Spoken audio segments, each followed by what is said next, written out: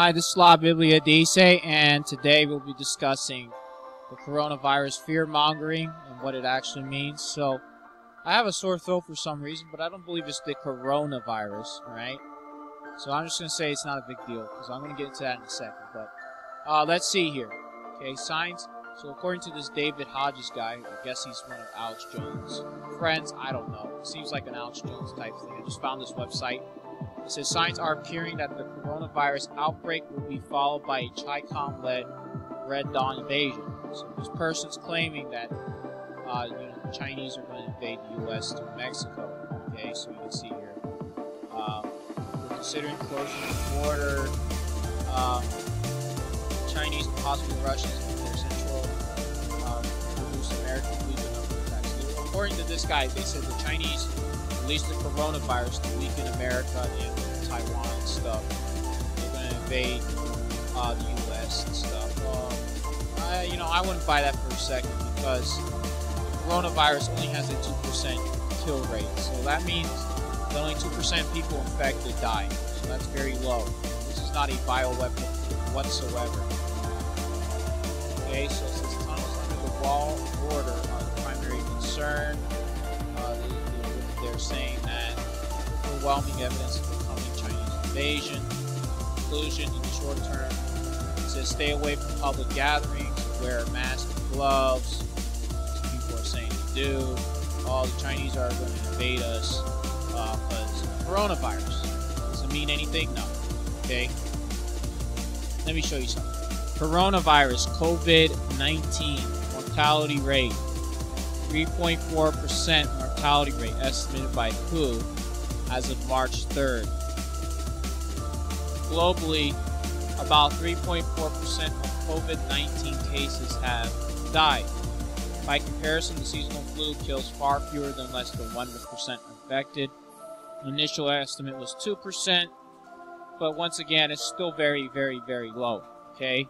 Uh, as you can see here, uh, mortality rate in Wuhan was still 4.9% low. 3.1, 2.1. Other provinces were 0.16%, or 313, accounting for 74% of China's total. So most of the cases were still mild, therefore there was no need to panic. Um, so once again, uh, only 3% of mortality rate. Um, comparisons with other viruses. So you can see MERS down here, which is nobody made a big deal when this came out a couple years ago. Had a 34% kill rate, but nobody made a big deal. So what I'm saying is this: don't panic about it. All right. So you know, people say, "Oh well, the coronavirus is going to get me." Okay. You know, it doesn't really make any sense. I'll, I'll tell you something right now. Do you believe the common cold is going to kill you? Because that's what the coronavirus is. All right? You don't believe me? Let me show you something. So, uh, sorry about that. Here's WebMD. So this is the current article from uh, 3-7-2020. What is causing my cold? I know you're going to say here, well, the coronavirus is in the news. Rhinovirus, coronavirus, RSV, and parainfluenza. There are also a lot of viruses that doctors haven't identified. About 20 to 30 percent of colds in adults are caused by these unknown bugs. So not only do we have the coronavirus going around, we also have these unknown bugs. Oh my goodness, the world's going to end. We got to shut down the schools. We got to shut down the bridges. We got to, you know, it's just a joke. All right. Look at this. 20 to 30 percent of viruses are unknown. Okay. Uh, so let, let me read on. Okay. So what is causing it? Now you're saying oh, well, this is new. It might be just saying, oh, well, you know, coronavirus is causing COVID. It's 2020. So let's go back in time here. Right now, I'm going to take this link and I'm going to go on the way Wayback Machine line. You can see here, I am not, this is not edited. This is not, um, uh, what's Photoshopped or anything like that. It is live. So we're going to click Browse History. It's going to go, it's going to browse. Okay, and we're going to go back to 2017 real quick saying, well, why 2017? Because you know it's, it's two years ago. No, three years ago. About so we'll go two years ago. No, it's March. So we'll go to February 10th. That's the last snapshot. Put this. Put this to load.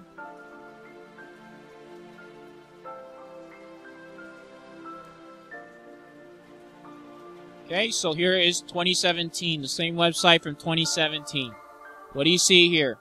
The coronavirus down here. Once again, it says about 20 to 30% of colds are actually caused by unknown bugs. This was in 2017. Okay, you don't need any more evidence than this, right? But for those people that are fear buying and fear mongering and stuff like that, let's go back further than this. You know, it's 2020, so we're going to go back to 2010. 10 years ago. I was in high school during this time, believe it or not. I was a senior. So, February 5th, 2010. So let's click that. Uh, let's see here. Wait for this to show up.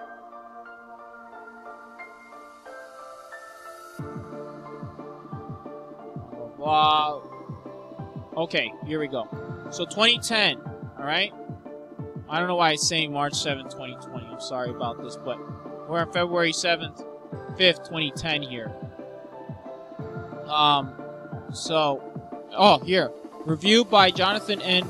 Gurn, whoever that is, on September 25th, 2009. So you can see I'm not making this up. So, it says here, uh, other causes of the common cold. Let's see here.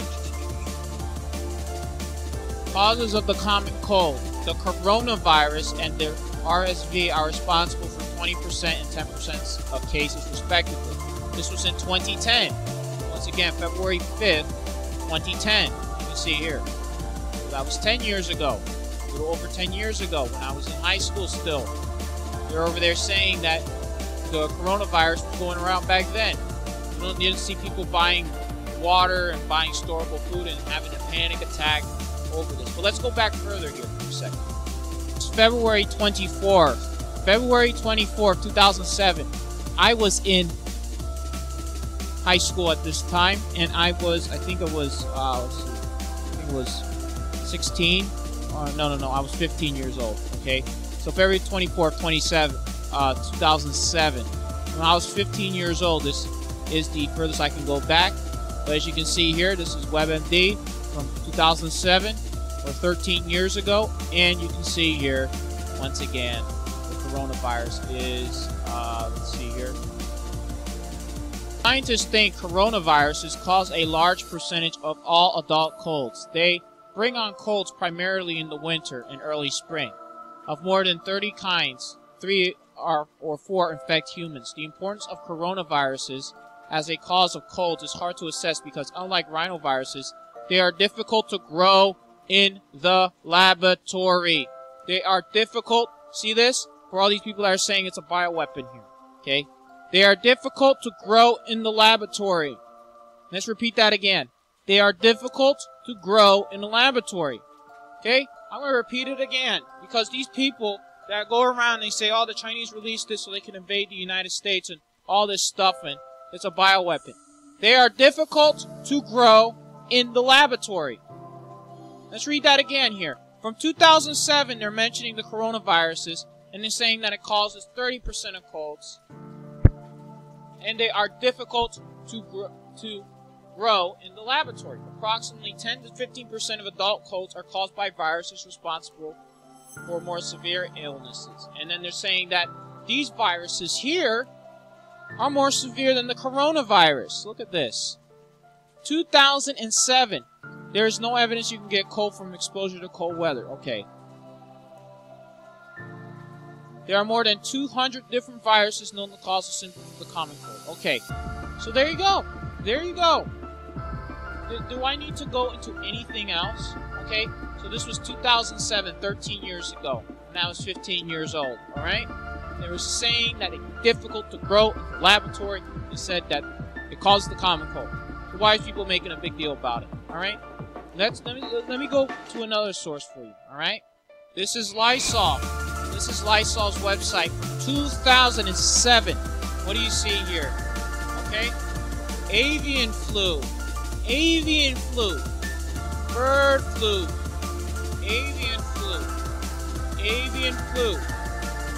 Here's expert resources on the avian flu. Here's what you need to know about the avian flu. And we're still here today talking to you.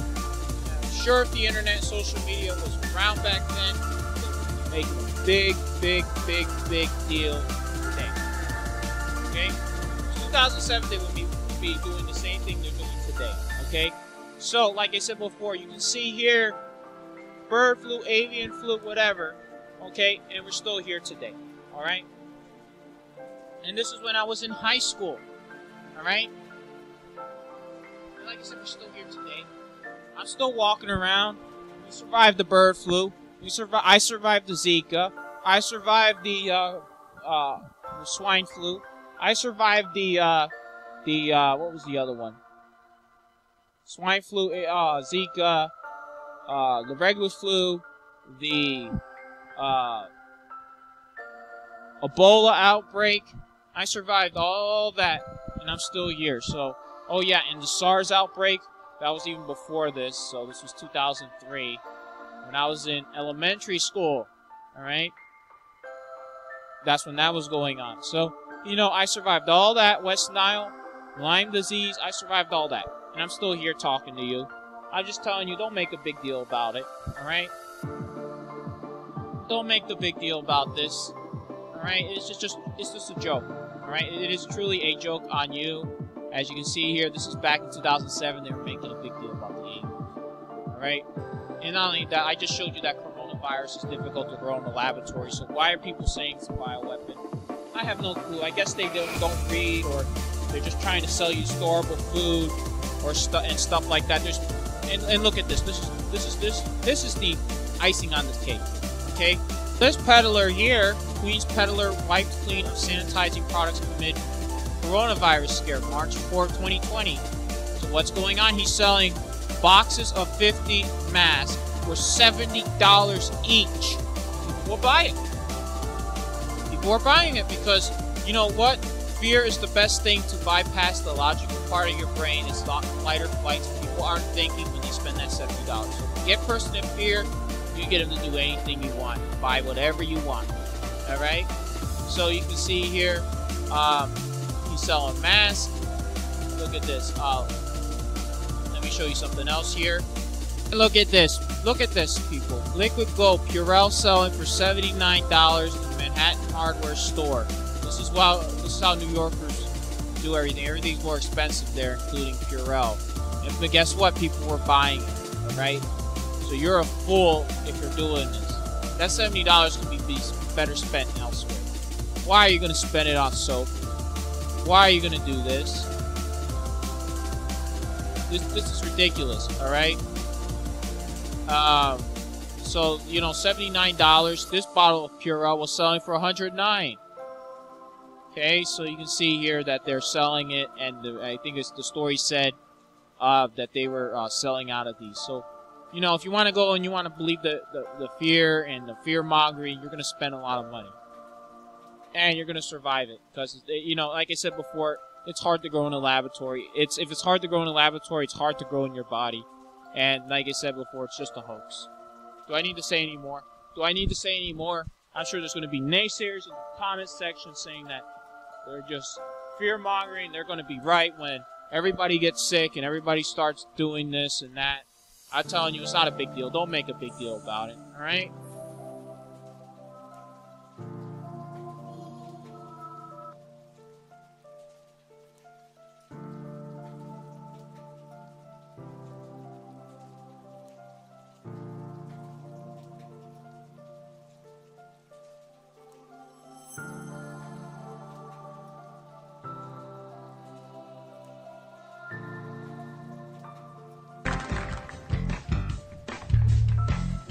Health Canada says the best way to avoid the flu is vaccination, which in many provinces is free.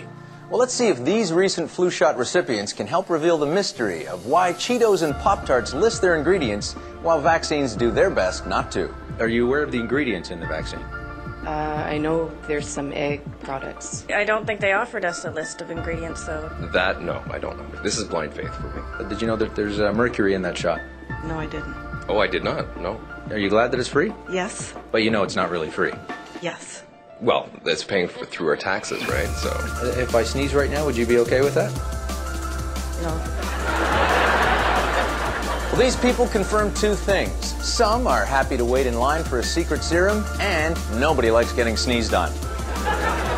But what if drug companies are right? What if tricking your body into thinking it's already sick doesn't make you sick? What if there's not enough vaccine to go around? You should know that making your own is easier than brewing your own beer. And it could save your life. Well, the first thing you need is a live virus. Now, is there anyone here suffering from the flu?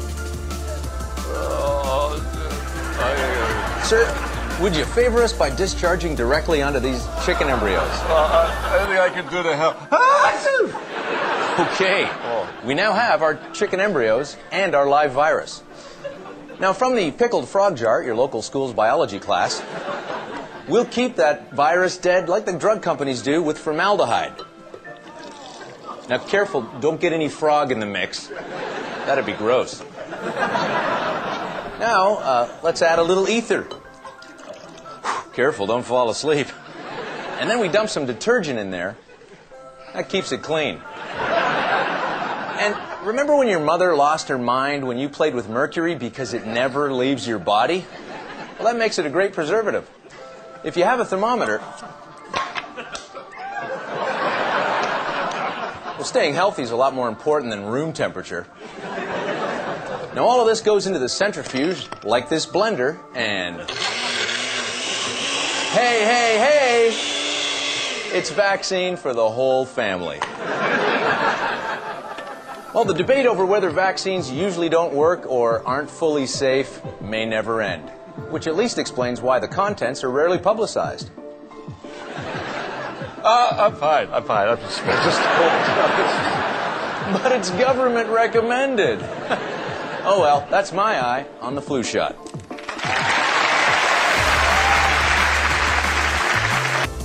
Now let's go stateside. And the US has started to test a swine flu vaccine on children and adults. The US Department of Health and Human Services hopes to vaccinate at least 160 million people by December. Well, for more on this, let's cross to our correspondent Priya Sridhar, who's in our Washington studio for us. Hello to you, Priya. So what are the hopes for this new vaccine? Thanks. Well, the swine flu vaccine has raised concerns with people across the world. A new survey shows that one third of British nurses have said that they will not take the swine flu vaccine because they're worried about the possible side effects. Now, the swine flu vaccine from back in the 1970s, which is supposed to be pretty similar to the one that's being offered today, has been linked to a neurological disorder called the Guillain-Barré syndrome. And joining me to discuss all of this is RT contributor and investigative journalist Wayne Madsen. Wayne, thanks so much for joining me. First of all, can you tell me who has taken the swine flu vaccine so far and what have you heard about it? Well, apparently there has been a test uh, community used already. Uh, uh, there, we're also hearing that the vaccine that's being developed, uh, they're saying it's not for everyone. Uh, apparently children were used as, uh, for lack of a better term, guinea pigs in Oklahoma. I, I, know from talking to people in the research community, even scientists who helped develop the vaccine for smallpox are saying they're not going to take the vaccine and urging their friends and family not to take this vaccine either. And what kind of side effects did these children have, if any? Well, contained in the vaccine is a, a, a component called thimerosal, which has been proven, uh, it, it, half of it is composed of mercury, and it's been proven to cause not only Guillain-Barré syndrome, but also autism in young children. There's been several court cases uh, because of past uh, vaccinations due to the autism issue. And so how will the swine flu vaccine be offered? Will it be mandatory for people? What have you heard about that? Well, there was a conference here in Washington last week where we have two, two themes present. We have the uh, research community, the medical community, um, uh, saying, look, uh, what we need to provide uh, the public is uh, uh, good information and let them make the decision based on facts.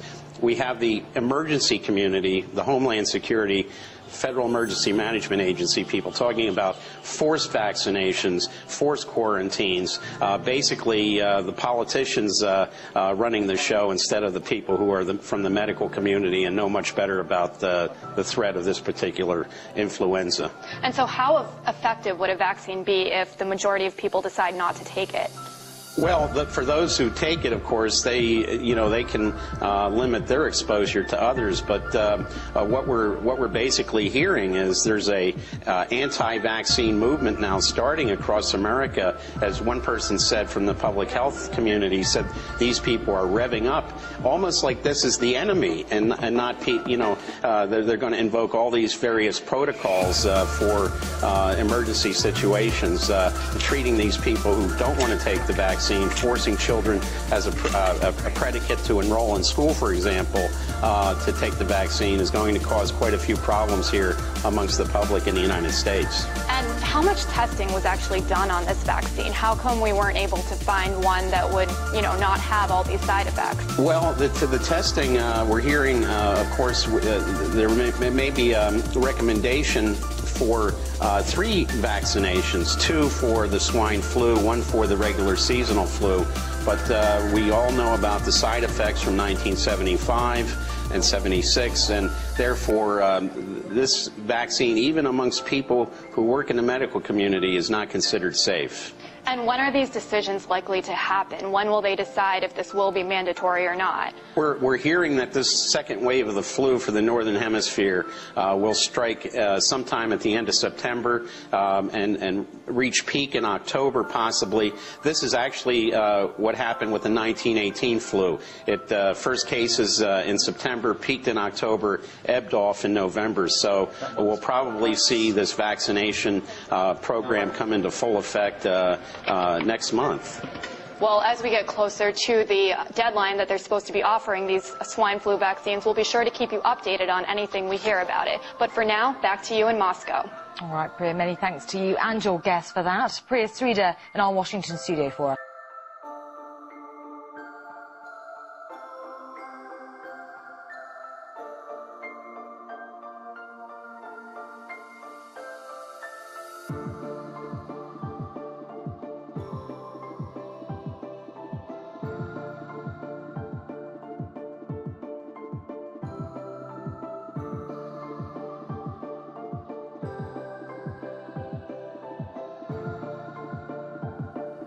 President, earlier this year you told us you had ordered your administration to cease and desist on payments to journalists uh, to promote your agenda. You cited the need for uh, ethical concerns and the need for a bright line between the press and the government. Your administration continues to make the use of video news releases, which are prepackaged news stories sent to television stations, fully aware that some or many of these stations will air them without any disclaimer that they are produced by the government. Comptroller General of the United States this week said that raises ethical questions. Does it raise ethical questions about the use of government money to produce stories about the government that wind up being aired with no disclosure that they were produced by the government? Uh, there, there is a Justice Department opinion that says these um, pieces are within the law so long as they're based upon facts, not advocacy. And I expect our agencies to adhere to that ruling, to that Justice Department opinion. It's been a long-standing practice of the federal government to use uh, these uh, types of videos. Agricultural Department, as I understand it, has been using these videos for a long period of time. The Defense Department, other departments have been doing so. It's important that, the, that they be based upon the guidelines set out by the Justice Department. Now, I also I think it'd be helpful if local stations then disclose to their viewers if that's you know that this was based upon a factual report and they chose to use it. But evidently in some cases that's not the case. So anyway. Guarantee that's happening by including that language in the prepackaged report. Yeah I don't you know oh you mean a disclosure? On George W. Bush and I. Well some way to make sure it couldn't air without the disclosure that you believe is so vital. Uh, you know Ken I mean there's a there's a procedure that we're going to follow, and the local stations ought to, if there's a deep concern about that, ought to tell their viewers what they're watching.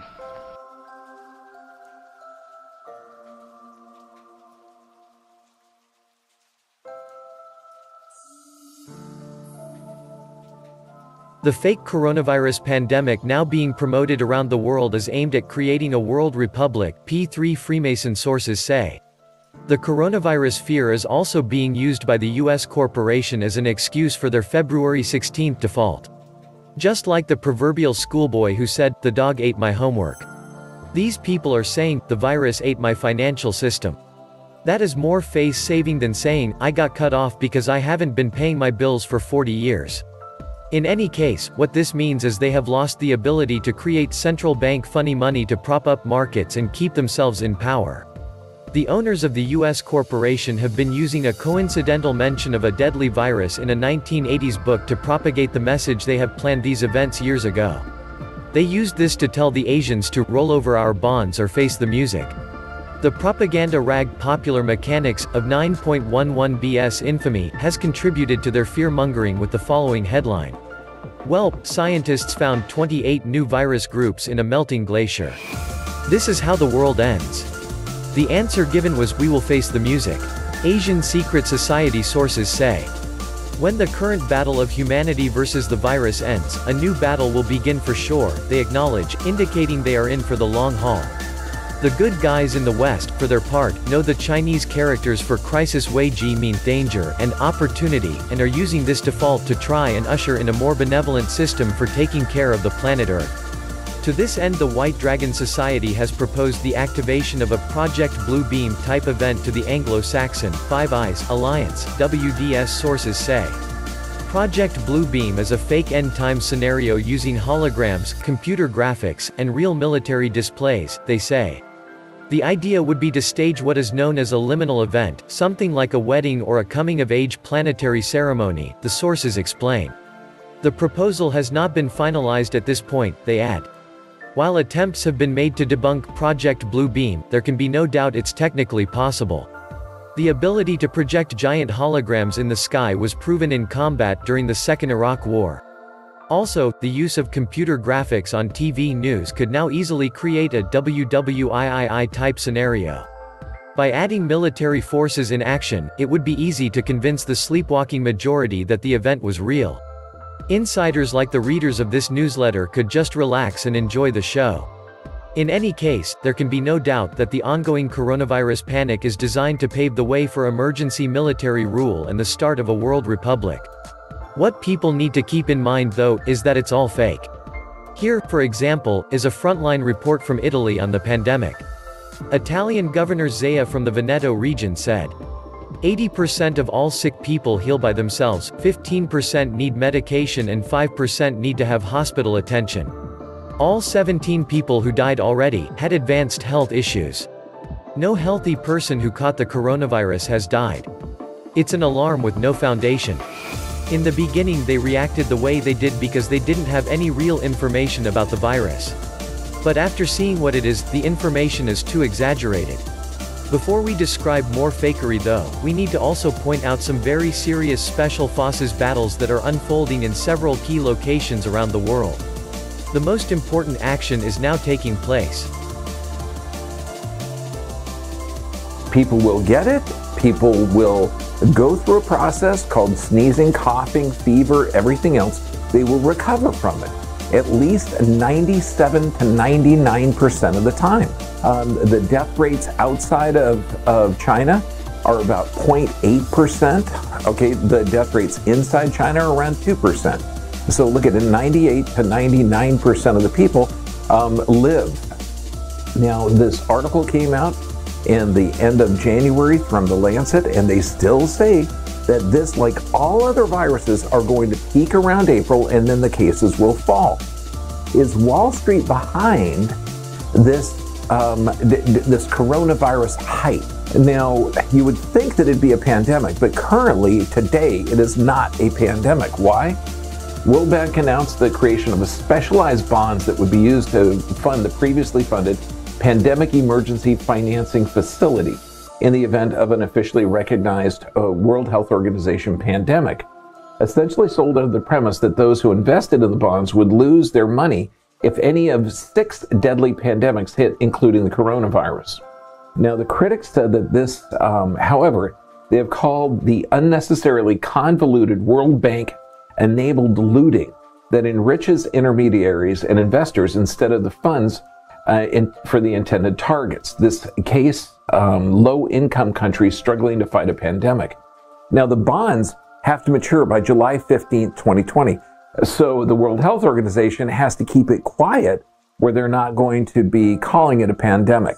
So let's look at this. UN declines to label the COVID 19 as a pandemic. Why?